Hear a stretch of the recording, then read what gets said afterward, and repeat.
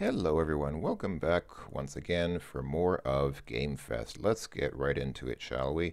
So here we are. Uh, so we are still doing arcade games. When we last left off, I had just finished Defender, which um, I couldn't figure out how to get out of.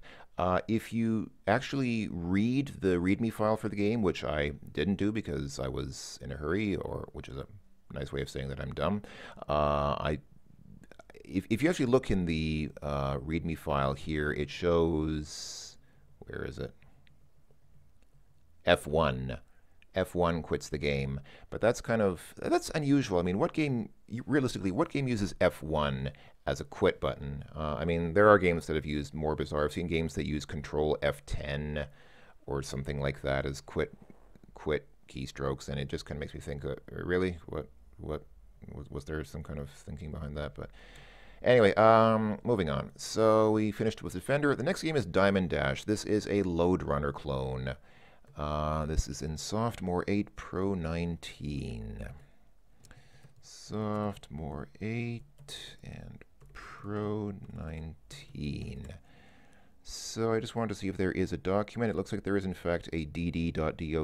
So let's browse dd.doc. Diamond Dash. This game is from 1993, which makes it newer than it looks. Uh, it's from Softtech, David Fleming. Requirements, uh, PC, AT, or PS2. Not Model 30. Wonder what happens if you try to run this on a Model 30. Inquiring minds want to know. Uh, oh boy, it needs DOS 2 or later. That's pretty, uh, that's pretty, pretty demanding there. All right, anyway, so it is very similar to the Broderbund classic Lode Runner, which is a polite way of saying I ripped off the game. Uh, it is not public domain, it is shareware. You should register it by sending $15 to David Fleming in Roanoke, Virginia. There is a story which I am going to skip over. You can read it there if you'd like. Might be a good idea to note the controls, at least that um, uh, Z or Z and X are for shooting left and right. And there is also a handy built-in uh, cheat with the L key. So, all right, let's go ahead and play DD. I mean, you folks have probably seen Lode Runner at some point in your lives. So what is there really to say? It is Lode Runner. in pretty much every possible way. Yeah, it it is it is very similar to the to the Broderbund Classic Lode Runner. That's that's because it, it is Lode Runner. It's not very similar. It it is Lode Runner. And I'm not saying that's a bad thing, because Lode Runner is uh, a good game. So, no, no complaints from me. I mean, I just, I do find it amusing how many different ways people uh, try to repackage the past. I mean, I guess, I guess I shouldn't complain too much because, quite frankly, um, this, I mean, this game is from what 23 years ago as I make this video. Oh, that guy just snuck up on me because I wasn't focusing on what I was doing because I was trying to think about what I'm saying. I mean, I'm realizing now as I play more of these games that, oh, I'm stuck here. Uh, yes, I was stuck there. Uh, I'm realizing as I play more of these games that um, really quite a lot of these are based on either some old classic arcade games or um, they're basically extremely derivative of a familiar gameplay formula that uh, has been done countless times before. But the thing is, what, what needs to be appreciated is that these games are very old. These games are um, more than 10 years old, I think in pretty much all cases more than 20 years old, and that was a pretty stupid thing of me to do. So, you know, we're talking about a completely different era. Today it may may seem cliche and even ridiculous to do these things because these concepts are so antiquated as to be not even worth redoing. It's not worth, at least not in a completely straight way like this. I mean, there have been remakes of Lode Runner, of course. Sierra made Lode Runner The Legend Returns, which is actually quite a nice takeoff on Lode Runner. I mean, it's the same basic game, but uh, besides obviously updated graphics and sound and music, it, it has a few twists and variations on the familiar format. So they did they did something a little bit different with it.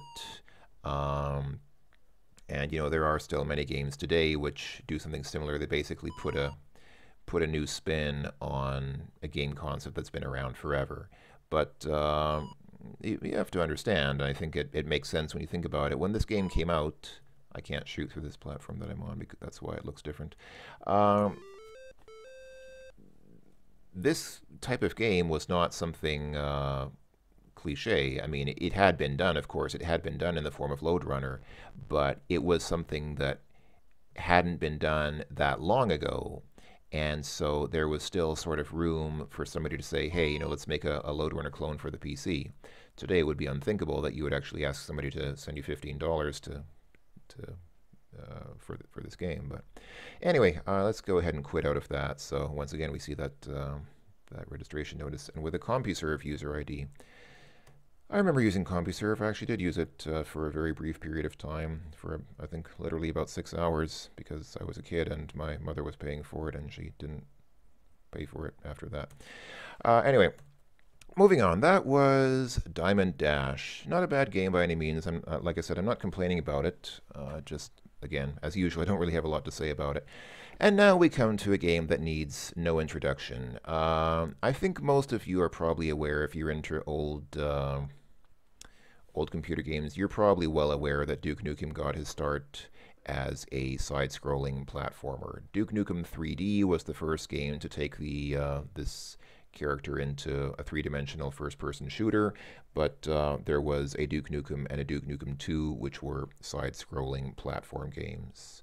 So let's go ahead and take a look just for the very few people, I think, who have never seen this game. Um, let's see. There is actually a catalog that comes with this. I'm wondering, is there a, a README file? I don't see one, but I might just be missing it. There's a foreign.doc, which is probably just for foreign orders. Um, Yeah, this is actually, there's no README file that comes with this. Let me just go ahead and quickly page through the catalog here because I'm curious to see what uh, what's here. So, Apogee, yeah, so here's the original three Commander Keen games. This is talking about Invasion of the Vorticons. Um, here's Goodbye Galaxy, which is Commander Keen's 4 and 5. Here's Duke Nukem. Um, Jumpman Lives, which is a very old game that is mostly forgotten today, except in a very, very historical sort of way. Dark Ages, we've already seen Dark Ages. Um, and don't have too much more to say about that. Pharaoh's Tomb, wow. This is a game that even I haven't played. I probably have seen it, but uh, somehow I just yeah, Arctic Adventure. This is a game that I did play. I did actually play through the entire uh, shareware episode of Arctic Adventure. Not a bad little uh, adventure. Monuments of, Monuments of Mars, which is very similar to Arctic Adventure.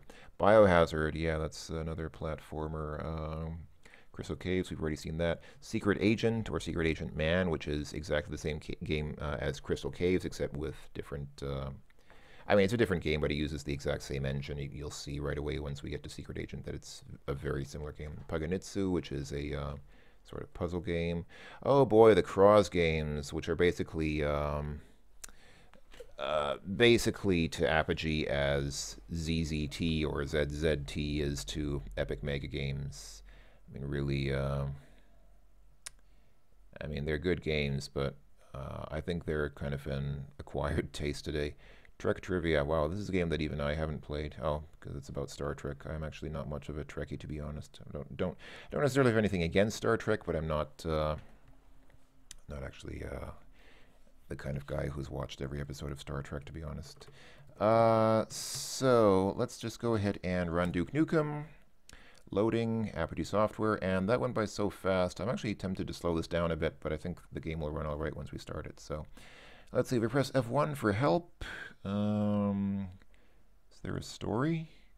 No, I guess the uh, the story starts when you run the game. But anyway, here are the instructions, which I'm not going to bother to read. Oh, this is the story. I chose instructions, but it chose the story instead. There you go. You have four lines of keys that control the character, and that's pretty much it. Important information, which is not actually that important. Well, I guess maybe it is if you don't know it, but um, previews and main demo. Oh, this is a demo. Alright, this is a demo of Duke Nukem. Duke Nukem is one of the best feature-packed games ever made for an IBM PC. That was probably true back in, uh, in whenever this game was made. Alright, let's go ahead and start a new game. So you're the pitiful hero they sent to stop me. I, Dr. Proton, will soon rule the world. You're wrong, Proton Breath. I'll be done with you and still have time to watch Oprah. I suppose the joke being that uh, it, it's a little bit silly to think of a, a very manly man like Duke watching Oprah. And I apologize if my Duke Nukem voice is not quite up to snuff. So these blocks fall down and you can get points for shooting them, which I failed to do there. You get a, a few extra points if you uh, successfully shoot them. And yes, you do lose health if they hit you. Uh, so this is Duke Nukem. This is the original... Uh, this is where it all started. This is really the uh, the first game in what became a relatively long-running character. Most recently, of course, with uh, Duke Nukem Forever. And I'm not going to touch too much on that because more has already been said about Duke Nukem Forever than really ever deserved to be said, in my opinion. But uh, yeah, these cans, uh, they give you one point of health if you grab them, but I'm already at full health, so what I'll do is I'll shoot it and then grab it. And if you shoot a can, it shoots up into the air, and then if you uh, grab it, then you get some extra bonus points. Hey, that okay. Oh, and the dynamite. Yeah, you have to avoid the dynamite because it will obviously harm you if the blast touches you. And you want to shoot the, the chicken or the turkey because a uh, shot chicken or turkey restores two points of health, whereas a regular turkey leg restores one point of health. Yes, eat turkey to increase your health. I was just about to say I'm not sure if that's chicken or turkey, but then the game clarified that for me, so thank you, game. Once again, a can of soda, which I'll just shoot, and the... Whoa. Uh... Uh... I'm not sure if this is going to show up on the video, but... Um... Hmm.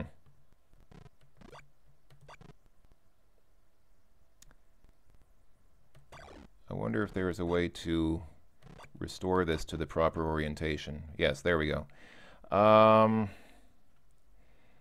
I'm not sure how that's going to show up on the video, to be honest. Uh, it appears that the laptop that I'm on flips the screen around if you hold down Control and Alt at the same time and then press the arrow keys, which is a frequent event when you're playing a game like this, and it seems to have messed up the uh, seems to have messed up the uh, video recording as well.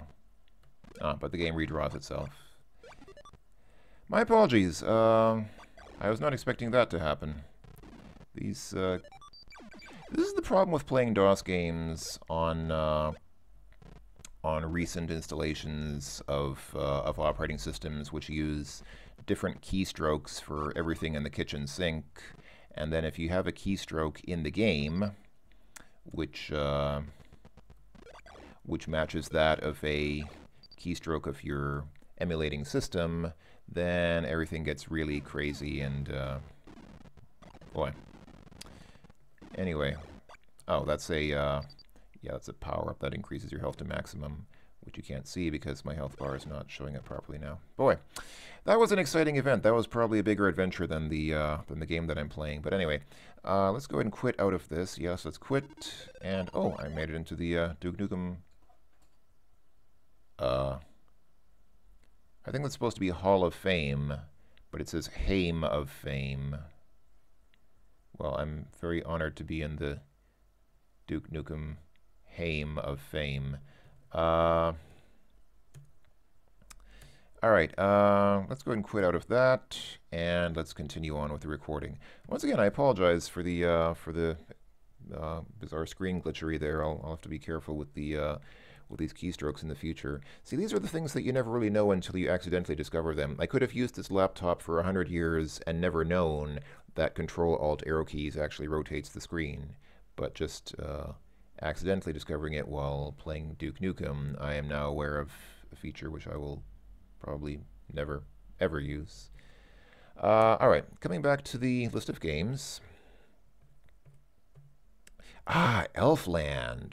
Now this is uh, sophomore in Pro 17. Um, this is a game which is kind of, um, I don't know. I, I guess I'll, I'll wait until I, I, I, run it to talk about it. Is there a, a README file anywhere here? There is an order form file, but I'm kind of looking for... Uh... Oh, there is no documentation available. That's nice, thanks. Okay, I guess I can just uh, run... I started typing wolf because I'm so used to running Wolfenstein, but no, it's not wolf, it's elf. Elfland. Uh, what's the what's the executable file here? Oh, elf1. A bunch of files called elfland1, but then the executable itself is elf1. All right. Um, oh, boy, that's... Oh, everything's going all crazy. Um, those of you who've been watching my channel for a long time may remember that uh, several years ago I did make a video of me talking over playing this game, um, but for completeness sake I'll go ahead and include footage of games which I may have already featured on my channel before. Um, you can read The Beginner's Guide to Elfland, which uh, I'm going to go ahead and quickly skip through. And I guess that's uh, that's enough of that. I'll just go. Let's see the uh, the ordering information because I'm curious whether uh, I wonder if you can actually still order. I know that this game was still available for order for a long time, even well well after it, uh, like more than ten years after it was past its time. But uh, I wonder if it's still available today well, who knows? You can check it out online. You might be able to uh, find a uh, an instance of the game still being sold. But anyway, let's go and start the game. So you can play as Elfie or Elfida, the latter being uh, a female equivalent. There is really no uh, no significant difference between the two. So I'll play as Elfida for no good reason other than that I like her nice little red hairband. And of course, we'll play on very easy because I am very bad at games. And here's the game. So basically, you it sort of combines different aspects of um, of um, I guess you'd say adventure games with platformers. I mean, it is obviously a platformer. At heart, this is a platform action game. But you can walk up to characters and talk to them, and you have conversations of a sort. So it's kind of an adventure game, but not really very much. More like just a just a action game with brief interludes. And that PC speaker sound, I often like PC speaker sound, but I'm wondering, can I? Uh... Ah, that's nice. Nice AdLib sound. Let's actually be bold and swap that. Keep the music on and turn sound effects off. I think that's usually how I prefer to play this game. Um, because the sound effects are a bit jarring and they do sort of, I think they actually cause the game to pause whenever the sound effect plays, which is also a bit, uh, also a bit annoying. Uh, so here's where you get the main plot of the game. This guy is telling you um, stuff which I'm not going to bother reading, but this is basically the premise of the game. Uh, and I think you do get a health bonus if you touch the sun, which I think I failed to do because I'm terrible at these games. Um, and now that we've talked to that fellow at the top of the tree, we can walk outside and try to avoid the bird because the bird will hurt us. So that bouncing black thing yeah, I, I really like this game. I think this game is something very special, honestly. I mean, it might look like a silly children's game. Uh, it probably is targeted at children. I think it's really more of a kid's game than anything, but it's it's something very... Um, I consider it something quite special, honestly. I, I don't... I can't really put my finger on why. It's just... It's, it's a platform game without constant twitch action. I mean I was going to say it's a game where not everything is constantly trying to kill you, but actually that's clearly not true. I mean, clearly everything is constantly trying to kill me in this game. But it's it has something to it that most of these types of games don't have. And I couldn't necessarily say what that is, what exactly is it that this game has that other games don't have.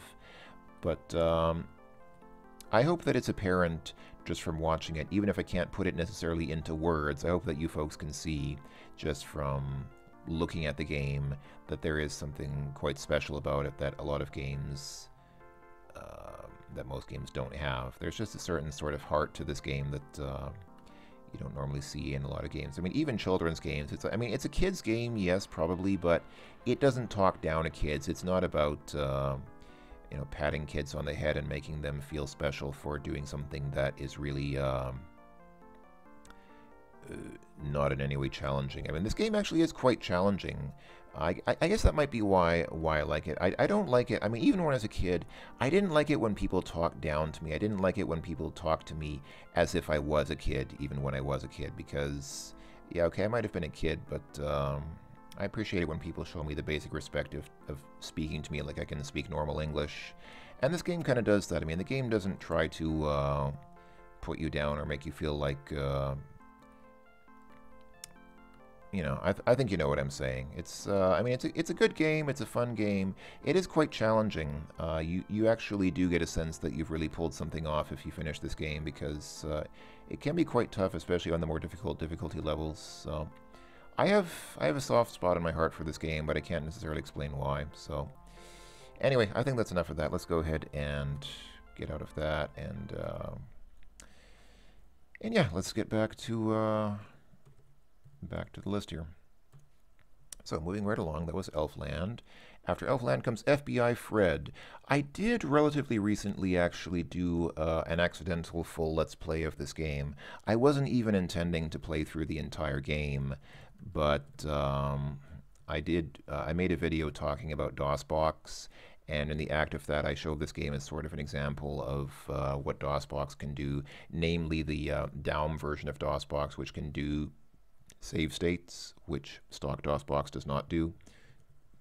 Um, but I ended up talking for so long that I actually accidentally played through the entire game without realizing that I was uh, that I was playing through it. So um, I don't have a whole lot to say about this game. I think the game kind of speaks for itself, so I'll just go ahead and start it, and we can uh, just briefly see. Uh, I mean, it's it's running too fast. If I was going to seriously play this game, I would I would probably slow it down so that it would be more playable. But uh, let's be perfectly honest, the game is a bit ridiculous. I mean, I do like the look of this game. I, I have always been very much drawn to the EGA sort of look of this game because it has a wonderful um, graphic style to it. I, I, really do love the, the look of the graphics, but everything else about the game is is not that great. I mean, the the physics, the the controls are abominable. They are really among the worst controls that I've ever seen in any game ever, which I think is saying a lot to be perfectly honest. Uh, I mean, if, if you really want to see just how bad game controls can be, you should try playing this. And like I said, I, I would normally slow this down so it would be more playable, but I think it actually fits better like this because this is sort of like I have a feeling this is sort of a scene that should uh, should have yakety sax playing in the background, um, or it was up until the point where I died there. So anyway, uh, let's go ahead and get out of that. I think that was enough. That was that was enough of FBI Fred to kind of give you an idea of what the game is like. I, I don't want to insult Mr. Uh, Spezzano. I hope I'm pronouncing that correctly. I don't want to insult him too much because it's clear that a lot of effort did go into this game, and really, with a bit of polishing, it could have been a much better game. I really do, like I said, I really do love the look of the game. Um, it is, in, in some ways, a fun game. It's just not, uh, it's just the controls are terrible. As, as a game, it, it just, it plays terribly. Uh, everything else about it is actually kind of nice, but um, just, the, you know, when, when you, you're playing a game, and the controls are, are working against you constantly. It's really, uh, it's kind of a counterproductive experience to try and play that game. It's kind of unfortunate, but uh, I would I would actually like to see that game remade in such a way that it's uh, a little bit more playable. But anyway, moving on, we have Galacta. Um, this game's name is so generic that even I don't remember what it is. I mean, you might have the impression that I I actually distinctly remember most of the games on this CD, and I do, but I don't actually remember this one because the name is just so nondescriptive. It's probably a is this a clone of I don't even remember is is the the game I'm thinking of Galaxian or Galaga or basically kind of like Space Invaders except um, different. I don't know. Let's see what it is. Sophomore Seven Pro Seven. Um, uh, yeah, so it's Galacta. All right. I wonder what AL is. I'm curious what AL is. Um, am I gonna? I'm gonna play it safe and not run that because you never know what random executables might do. Even though I'm pretty sure that the stuff on the CD is safe, but I, am just just a little bit wary of, of just finding random exes sitting around. Uh, wouldn't want to get myself into trouble without doing a little bit of basic protection to try and uh, ward off whatever that might be. Even though I highly doubt that it's anything dangerous. But anyway, let's go ahead and play Galacta. Joystick not detected. That's true. I don't have a joystick. Galacta, the battle for Saturn. All right, let's go ahead and uh, press space for more info, and here is some more info. Oh, I see, it's a scrolling text file. All right. Um, this is obviously a story. Oh, Uranus vanishes. Well, that uh, that can happen sometimes. I've uh, had that uh, had that happen before. Um, okay, I guess that was the end of that. Okay, uh, let's press enter or button to play. I'm going to assume that means joystick button. Um, yeah, it's it's it's this game which has been remade and re-remade and, and whoa, how do I fire? Oh, control fires. It's it's been made and remade and re-remade and re-re-remade so many times in so many different forms that I honestly don't even remember what the original title of it was. I think it's Galaxian, but I don't. For some reason, this game doesn't stick out in my memory because I always get it mixed up with Space Invaders, even though it, it is obviously. excuse me. It is obviously a different game from Space Invaders, but somehow I just can't distinguish between these different types of games very well. Um, it just it just all blurs together in my memory. Somehow I, I don't have fond childhood memories of these games. I mean, it's not a bad game, but what can I say? It it is what it is. You're you're, you're down there at the bottom. You shoot at the stuff at the top, and hopefully hopefully you do better than I'm doing, because I'm yeah. I mean that was I, I'm doing embarrassingly badly here. I'm sure there's some way you're supposed to dodge those things. Uh, but I'm just, I'm not even interested enough to really bother trying to figure out how you're supposed to dodge those things because this game just really doesn't, somehow just doesn't do it for me. I don't know, I can't really, I can't really explain why. I mean, I should love this game because, uh, because, I mean, the sound effects are great. It has that really crispy sort of DOS sound effect sound to it. So the sound effects are great. The, the graphics, I mean, the graphics are very simple. They're just basically dots. I mean, you have just a handful of clusters of dots, and that's the graphics. But I mean, I mean, the presentation is is very nice. I, I do like the game. I do like um, the way that it's put together, I guess. But as a game, as something that I would play, it just somehow it, it's just not my thing. I'm just not really into these types of games that you play the same sequence in over and over for hours to uh, try and beat your high score. That's not what I.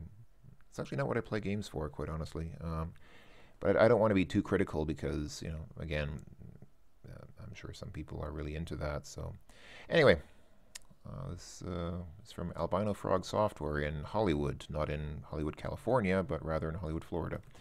So, anyway, uh, yeah, a game with, uh, I already forgot the name, Galacta? Yeah, Galacta. Moving on, we have Galactic Battle. This is another game with a, a, name so generic that I don't remember it. Soft Mix Gala. Is this another, is this another one? Is this another... Is this another game with the same premise and the same... Okay, there is a gb.txt, so let's go ahead and read that quickly. Galactic Battle is a space shoot 'em up. This sounds very much like it's going to be exactly the same game again. I'm going to guess that it's the same game. Just going to quickly scroll through this in case anyone wants to read it. I highly doubt that anyone's going to pause.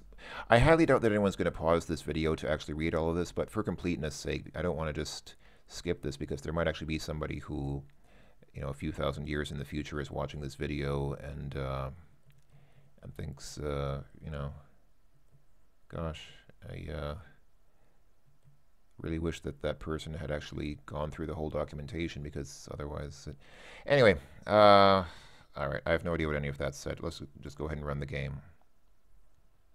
It looks very much like, yeah, it's the, uh, yeah, here we go. It's, it's, it's very obviously not the, the exact same game,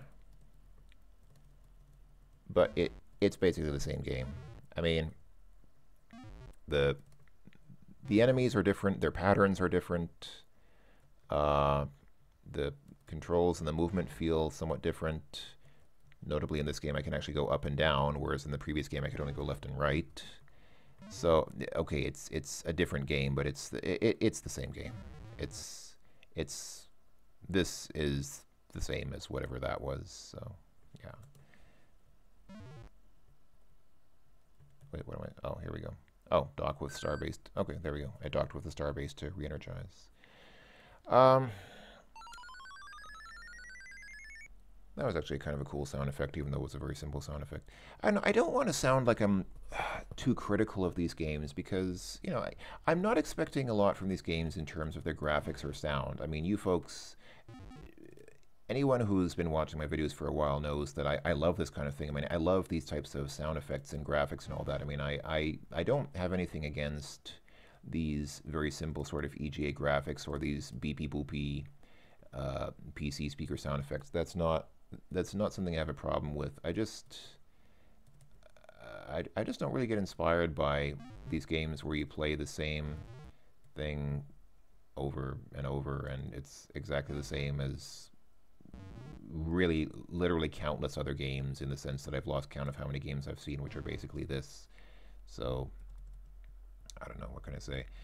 Um, I'll just quit out of that. Quit. Are you sure? Yes. Um, I've actually already been going for half an hour, so I'm thinking of closing the video, but I'd like to end on a more positive note because I've been a little bit critical of the last couple of games, not because they're bad games, but just, you know, they're just, they just don't really grab me. They're so unoriginal. Um, Gotcha, I think, is uh, Sophomore in Pro 1. I think I remember this. If I remember right, it's. Uh,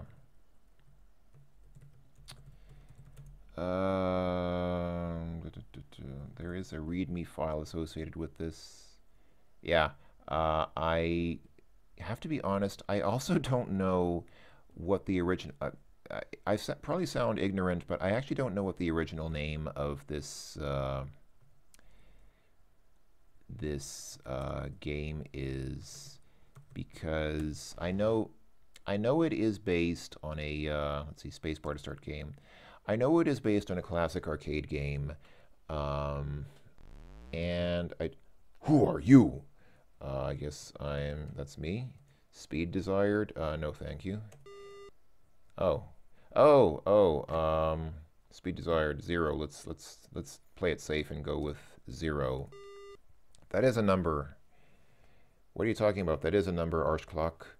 Um, is is one a number? Okay. What makes one a number but not zero? Zero is also a number. Learn to math. Sound? Uh, yeah, sure. Let's do sound. Why not? Yeah, it's it's this, and it's actually going way too fast. Hold on, let me slow down. DOSBox. Worried for a moment that that keystroke might also uh, impede my uh, my uh, somehow cause the laptop to do something unpredictable. But anyway, uh, oh here we go. Use the arrow keys to control that thing. You've probably seen this game before. It's basically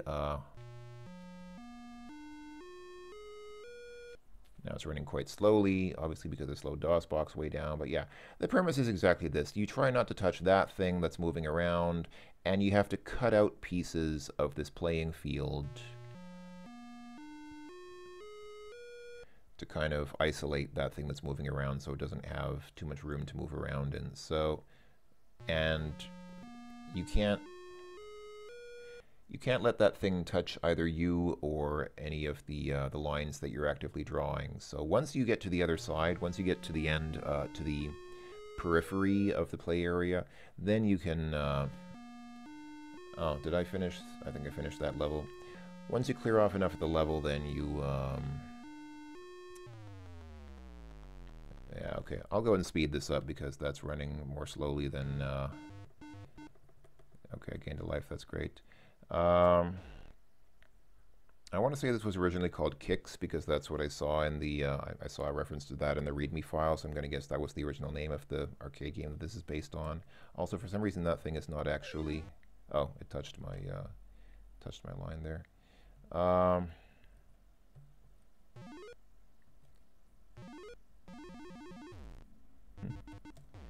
hmm. um, for some reason, this game just never really appealed much to me, even the in the original arcade form. You can probably tell I don't even remember the name of it. It's just kind of, uh, uh, I don't know. Um, reminds me of JezzBall, which is kind of a similar concept, except uh, somehow seems a little bit better in my opinion. But uh, I mean, JezzBall seems better than this. I don't know. What can I say? Uh, I really want to get something that's uh, something that's uh, that I can end on a little bit more of a positive note on. Uh, heavy Water Jogger might just be that game. Wow. Let's see what comes after Heavy Water Jogger. Helios. Oh, that's another. Uh, that's another interesting game. Okay, I'll save Helios for next time. But let's go ahead and play Heavy Water Jogger.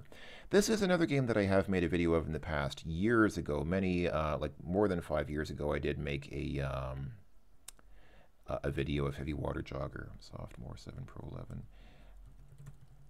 So back then I said pretty much all that I had to say about this game, but I will go ahead and briefly just run through this, uh, just again for completeness sake, so you can just read read everything. How long does this go on for? Um, boy, this goes on for a while. Is that really? Okay, I think that's the end. All right, let's just go ahead and run it quickly, and we'll see. Um, yeah, start with sound. Alright, Heavy Water Jogger is distributed on try before you buy basis, commonly known as shareware, except usually without the camel case. Delaying for three seconds, because three seconds is a long time to wait. Yes, thanks, Fluke. No, don't print order form now. I don't even have a printer attached to this machine. I wonder what happens if I say yes and it tries to print, given that I don't have a printer. Anyway, viable software alternatives.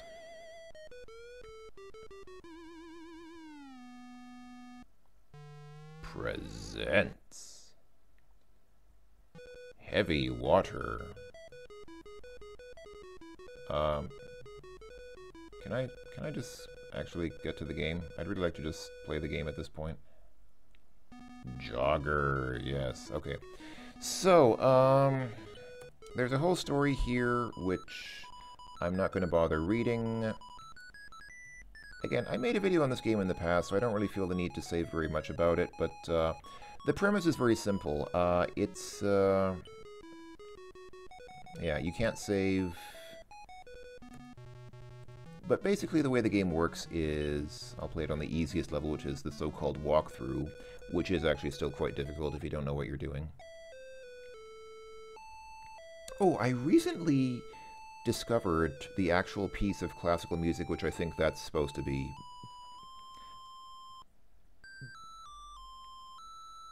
Just waiting for the music to finish. There we go. I actually recently heard uh, a piece of music which I think might be the the uh, basis for that uh, sort of jingle tune that we just heard. Um, I don't remember. I, I, wrote it down somewhere, but I don't remember where now. Uh, but anyway, okay. Excuse me. So this is Heavy Water Jogger. It plays kind of like a top-down version of a Sierra Adventure in that you move around with the arrow keys, and then you can stop by pressing the direction that you're already moving in. There are some special keys like M to show the map.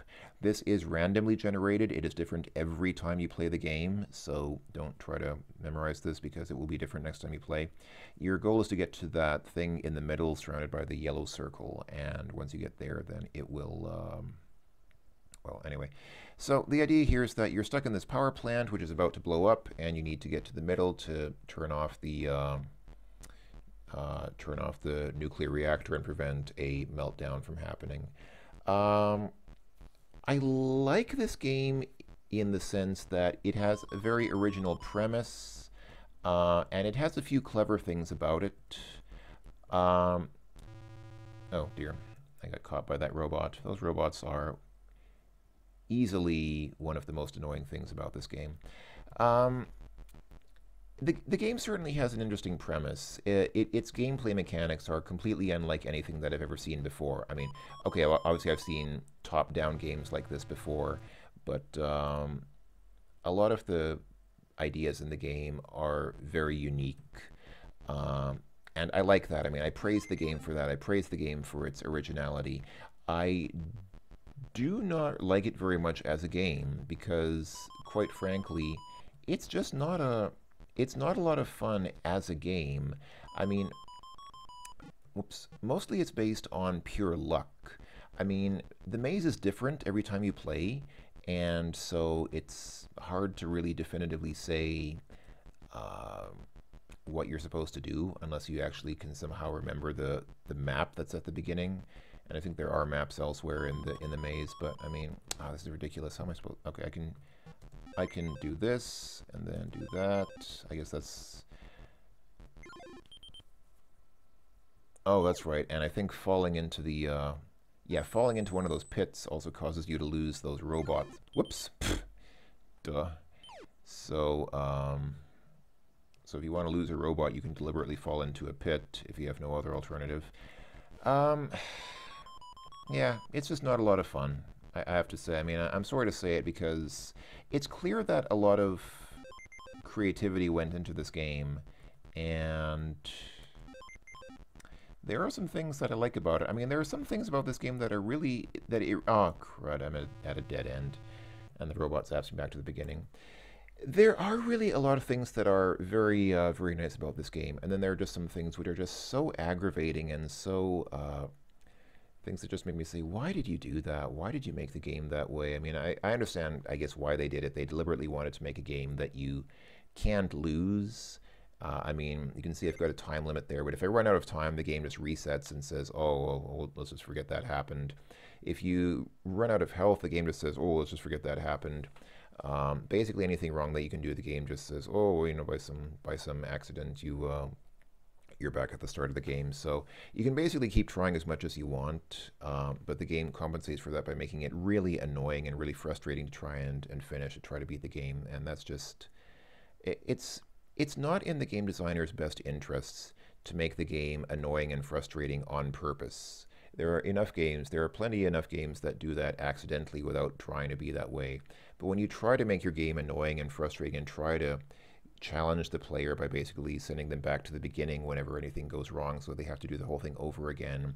When you try to kind of play with the player that way, um, it, it's it's to no one's benefit. I mean, obviously the player doesn't enjoy it, and if you're trying to sell a game, or even just even if you're giving away the game for free, if you just want people to play your game, um, it's it, it doesn't benefit anyone to, to make a game like that, quite honestly unless you're trying to make something like Takeshi's Challenge and your your whole purpose is just to try to give a giant middle finger to every video gamer in the world, but that's something a bit different. Anyway, Heavy Water Jogger. Uh, like I said, I, am fond of this game. I have some fond memories of it just because it is so original and so unusual, and I, I like uh, I like games that are like that. But as a game, it's just yeah, uh, it's it's very frustrating. I'll get out of here and uh, yeah. There we go. That was Heavy Water Jogger. So I guess that was a, a, reasonably positive note to end on. I mean, I had some some negative things and some complaints to give, but uh, I, I, like at least showing off that game because it is so unusual. It's so unlike anything that you'll probably ever see before. Uh, before ever see again in any other. It's it's unlike anything that you have ever seen before or that you likely will ever see again in any other game. So I like that. But anyway. Uh, I guess that's it for me. Uh, thanks for watching, everyone. As usual, uh, we'll see you hopefully in the next video. I hope that everyone's doing well and that you're enjoying these games. I apologize. I feel like I didn't react very positively to the games in this video, and that's just because, you know, um, a lot of them just weren't very for me personally, they weren't very inspiring. But hopefully, we'll see some more games in the future that um, that are a bit more. Um, I don't know, a bit more original, a bit more inspired. Let's see how that works out. Until then, thanks again for watching, everyone, and we will talk to you later. But now I shall say bye bye for now.